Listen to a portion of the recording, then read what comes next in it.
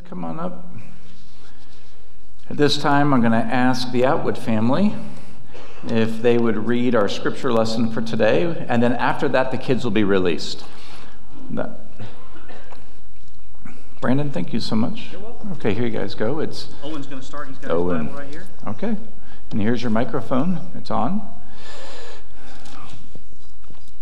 At the time, the Roman Emperor Augustus decreed that the that a census should be taken throughout the Roman Empire. This was the f- first census taken when Quir- Quirinius was governor of Syria. Syria. All returned to their own ancestral towns to register for the census. I mean, register for the census. And because Joseph, Joseph was a descendant of King David, he had to go to Bethlehem in Judah, David's ancient home. He traveled th- there from the village of Nazareth in Galilee. He took with him Mary, to whom he was engaged, who was now expecting a child. And while they were there, the time came for her baby to be born. She gave birth to her firstborn son. She wrapped him snugly in strips of cloth and laid him in a manger because there was no lodging available for them. That night there were shepherds staying in the fields nearby, guarding their flocks of sheep. Suddenly, an angel of the Lord appeared among them, and the radiance of the Lord's glory surrounded them. They were terrified, but the angel reassured them. Don't be afraid, he said. I bring you good news that will bring great joy to all people. The Savior, yes, the Messiah, the Lord has been born today in Bethlehem, the city of David, and you will recognize him by this sign. You will find a baby wrapped snugly in strips of cloth lying in a manger. Suddenly, the angel was joined by a vast host of others, the armies of heaven, praising God and saying, Glory to God in the highest heaven, and peace on earth to those with whom God is pleased. When the angels had returned to heaven, the shepherds said to each other, Let's go to Bethlehem. Let's see this thing that has happened, which the Lord has told us about. They hurried to the village and found Mary and Joseph, and there was the baby lying in the manger. After seeing him, the shepherds told everyone what had happened and what the angel had said to them about this child. All who heard the shepherd's story were astonished.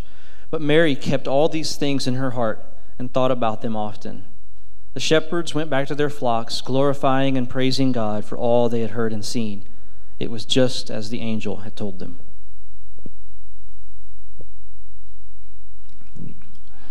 Thank you, Atwood men.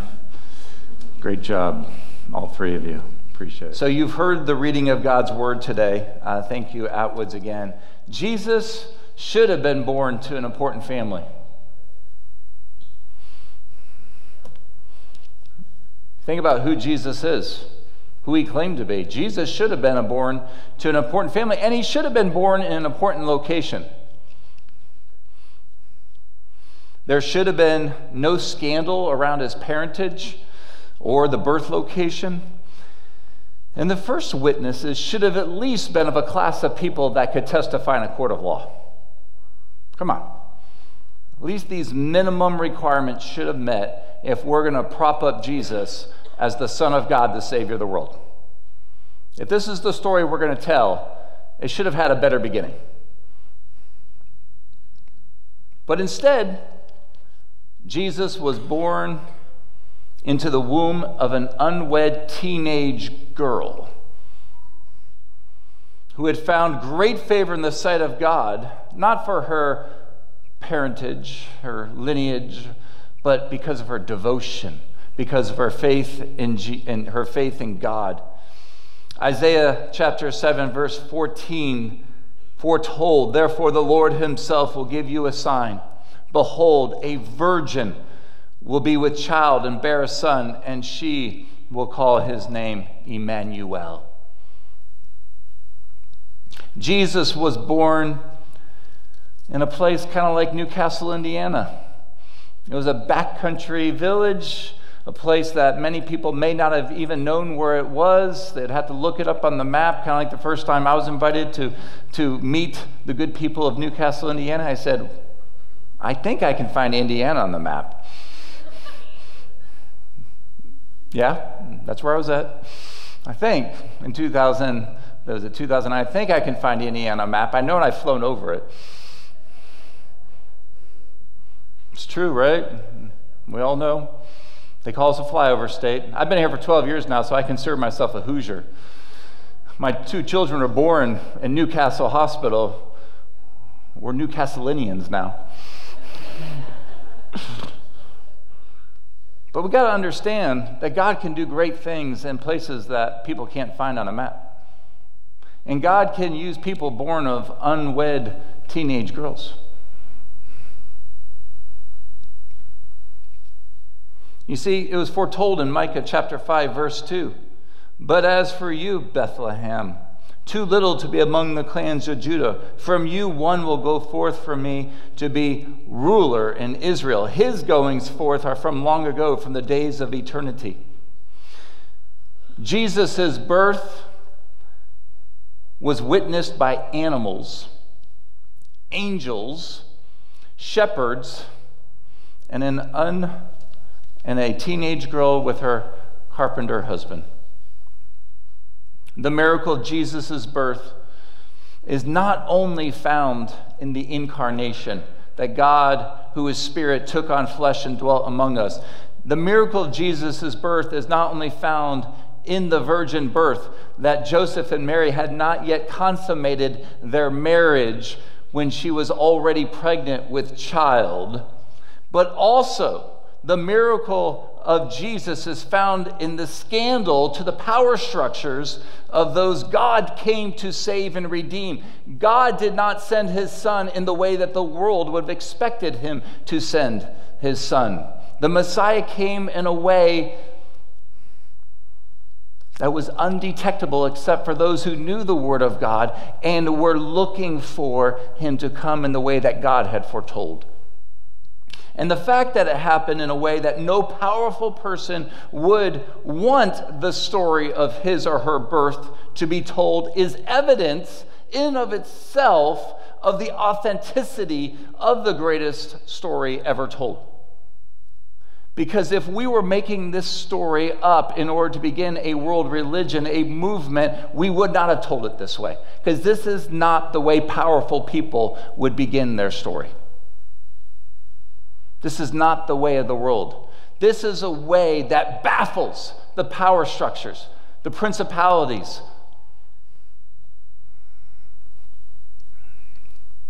Now, we've talked about this before. This is one of my favorite subjects. I love talking about the scandal of Christmas because we've normalized, we've habitualized Christmas in our culture. And even the unbelievers celebrate Christmas without understanding the depth of the love and the scandal of grace and the passion of the Christ for which he came. You see, this scandal is of epic proportions. Christmas was very different on purpose. Because on that first Christmas, love was born. Love was born and made manifest to the world of the love of a God that wanted his people brought back into his family. You see, Christmas was not a worldly power play. Unlike Caesar, I think it's very interesting. The reason I wanted you to hear all of Luke chapter 2 is because I wanted you to hear the power play of the world. You see, Caesar's census was a power play. Caesar wanted to show the world how powerful he was by counting how many people were under his authority and saying, See how many subjects I have. See how great of a territory my empire is. I am powerful, and I can make you take your pregnant wife on a long journey because I'm Caesar. and you will do what I tell you to do, or I will kill you. See, that's a worldly power play. It's threatening, it's manipulating. But that's not the way of God. You see, Christmas is the birth of love, where God entered his creation, compelled by love, to become one of his people. You see, Caesar was so focused on showing the world how powerful he was by counting all of his people. God wanted to show the world how powerful he was by becoming one of his people. Because the power of God is his love. And he birthed his power, he birthed his love into Jesus Christ. Galatians chapter 4 a beautiful, beautiful teaching, verses 4 to 7. I'm going to read that to you straight from the scriptures. Galatians chapter 4, verses 4 through 7. One of Paul's letters says this But when the fullness of the time came, God sent forth his Son, born of a woman, born under the law, so that he might redeem those who were under the law, so that we might receive the adoption of sons. Because you are sons, God has sent forth the Spirit of His Son into our hearts, crying, Abba, Father. Therefore, you are no longer a slave, but a son. And if a son, then an heir through God. And ladies, I want you to hear when you are called a son of God, that is not a gender issue. That is talking about you having legal rights you have legal rights to all the promises of God. You are a co heir of grace. You see, the birth of love was broadcasted, and we hear this in John 3 16 to 17. This is, I love in these big moments of the church, like the Christmas season, the season of Advent. I love using the scriptures that are so familiar because we need to know these familiar scriptures and how they're connected to the most important story ever told that has become so familiar. For God so loved the world that he gave his only begotten Son, so that whoever believes in him shall not perish but have eternal life. And then verse 17 For God did not send his Son into the world to judge the world but that the world might be saved through him. You see, verse 17 says, God did not send his son to do a power play. God sent his son to birth love, to show his compassion, to show his mercy, to show the judgment of God fulfilled for the peoples, to bring all nations back unto himself. Christmas is the birth of love. Christmas is the fulfillment of the Abrahamic promise that every nation shall be blessed through these people. Because God's love did not just exclusively belong to the nation of Israel, but God's love flowed through the womb of Mary so that all nations could feel and experience the deliverance and rescue of a love for all people.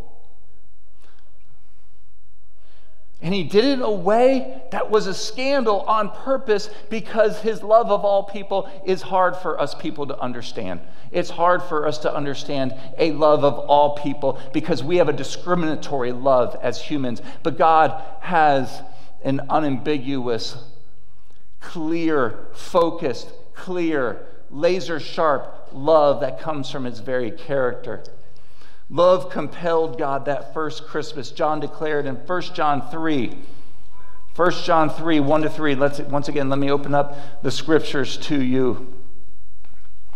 1 John chapter 3, verses 1 to 3. See how great a love the Father has bestowed on us. Bestow is a, a term of royal favor. Bestow is connected to the concept of grace.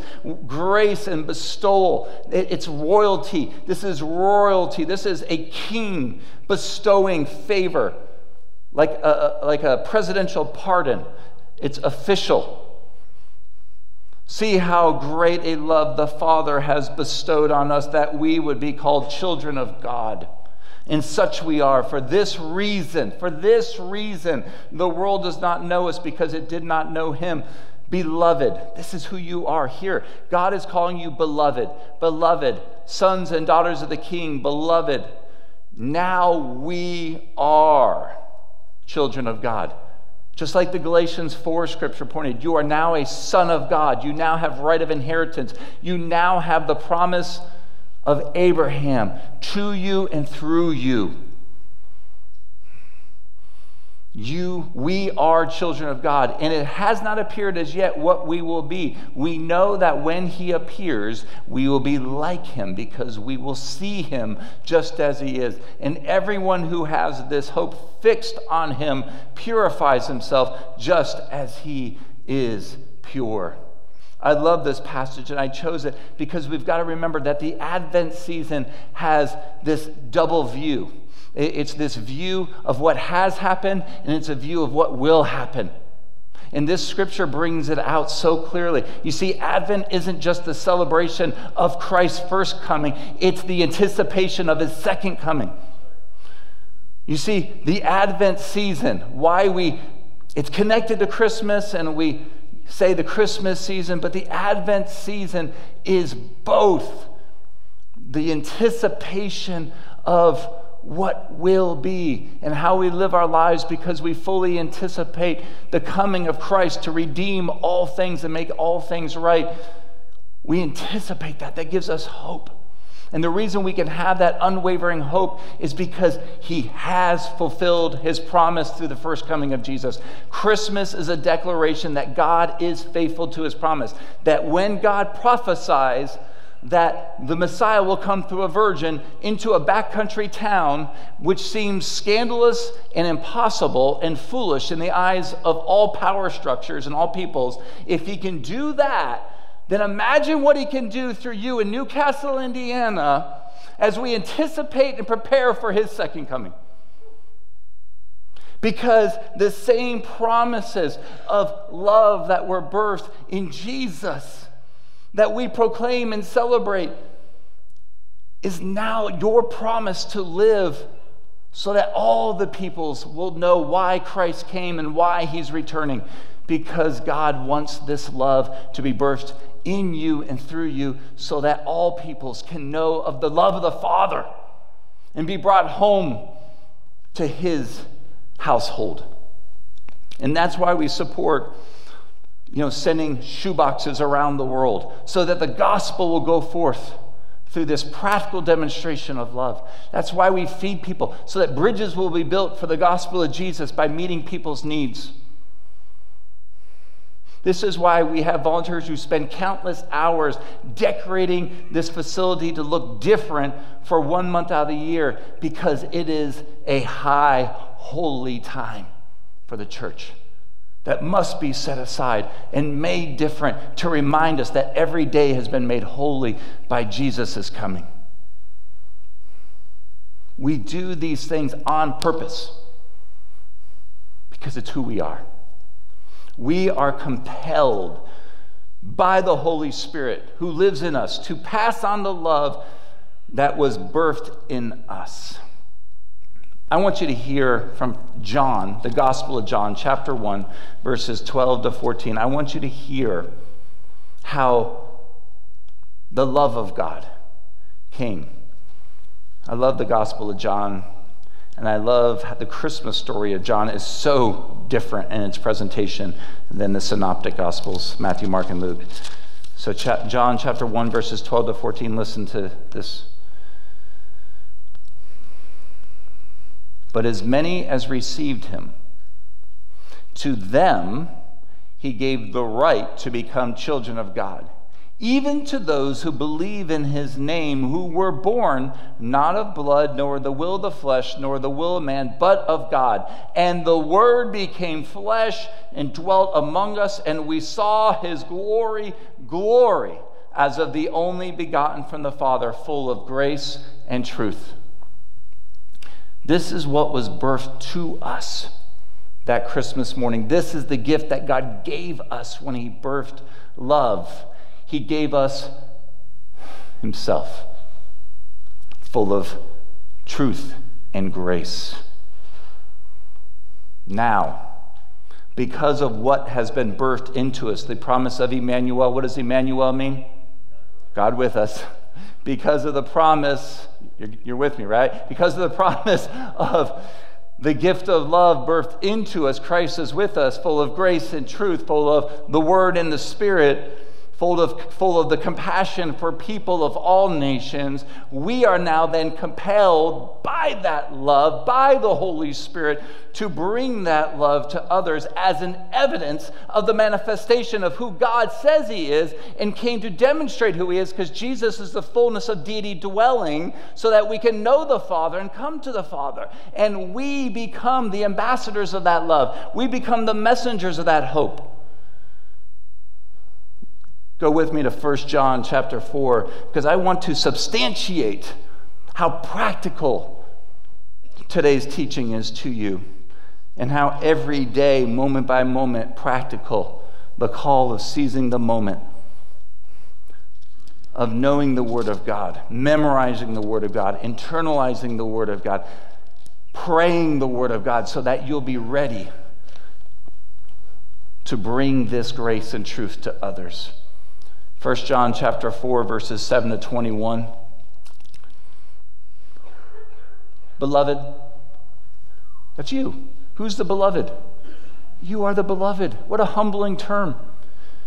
God has bestowed his favor upon you because of his kind intentions. He has given you his love so that you would be known as the beloved of God. Beloved.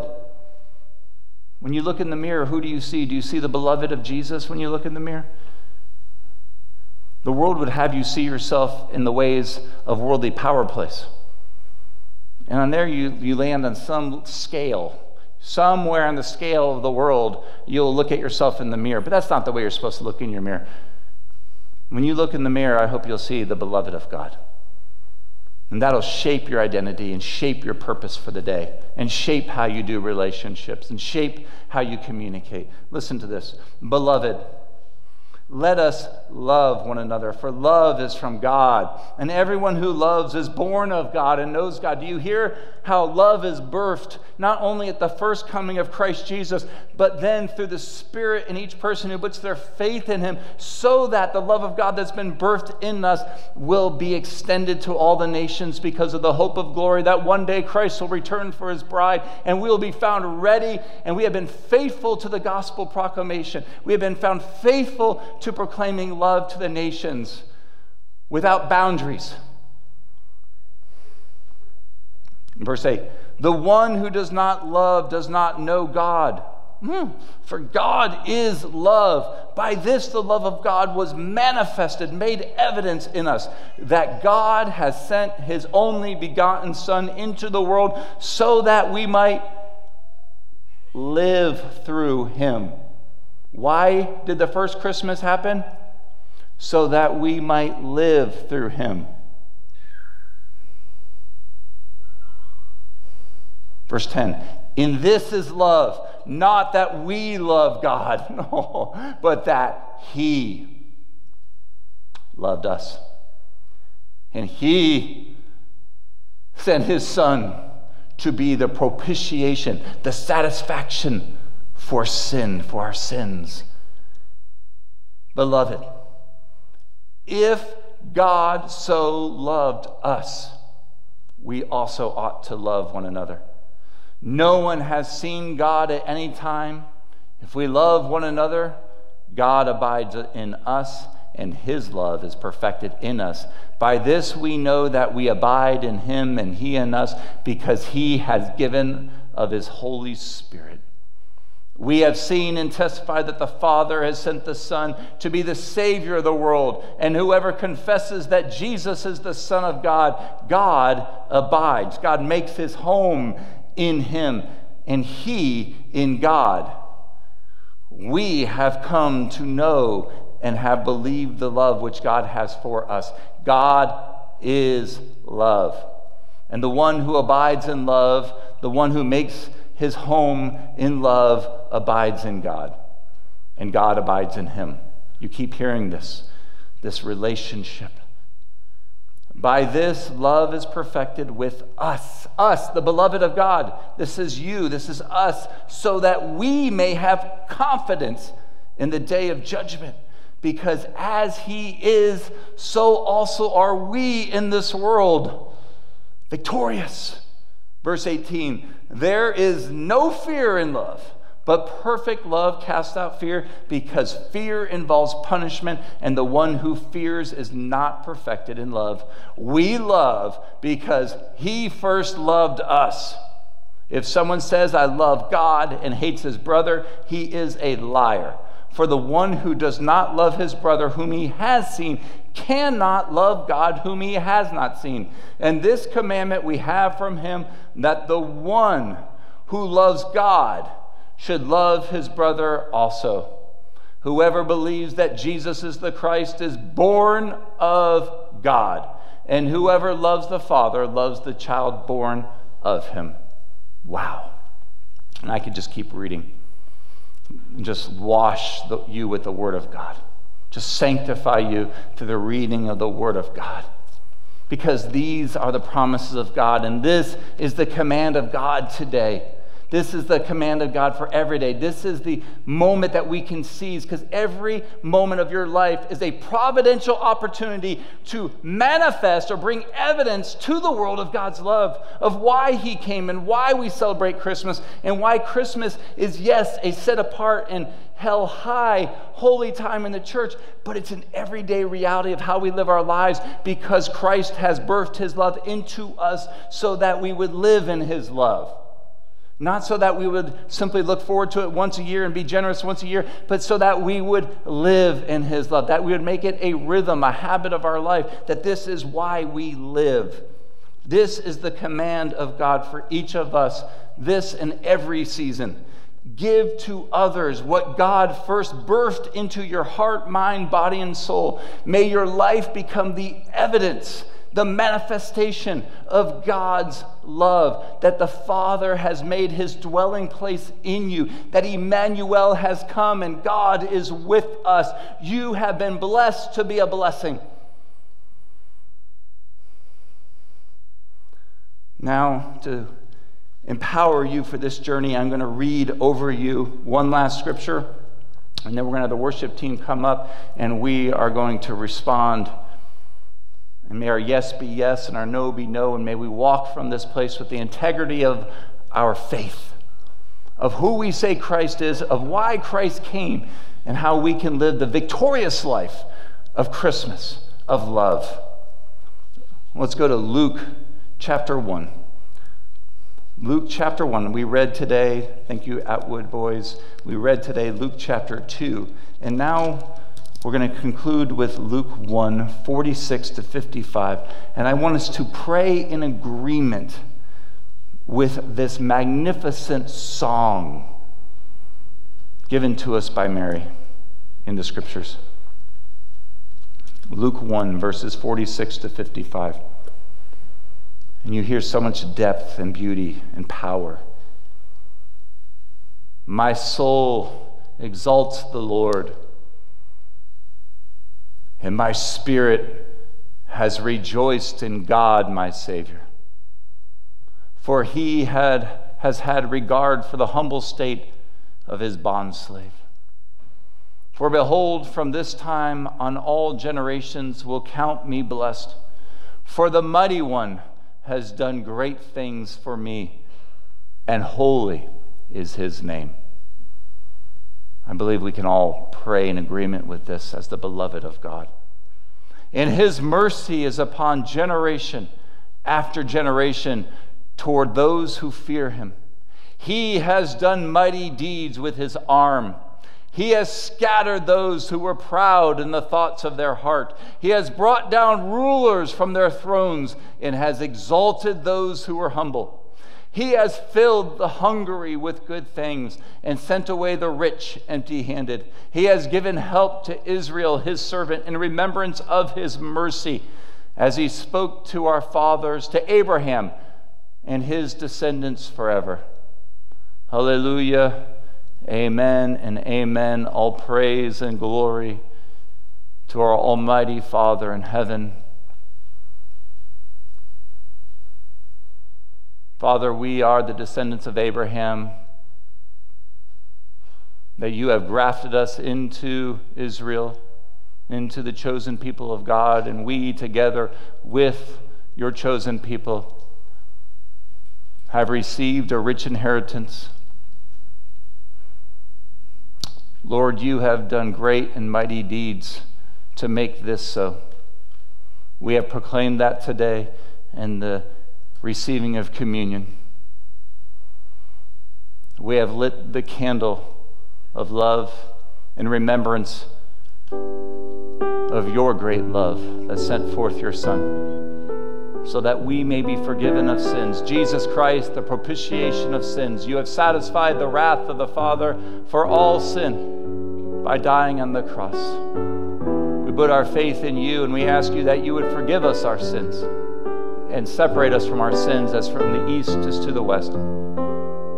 We thank you for this pardon, and we bestow the pardon of God upon all of his children. You are forgiven in the name of the Father, the Son, and the Holy Spirit, because Christ has proclaimed your forgiveness.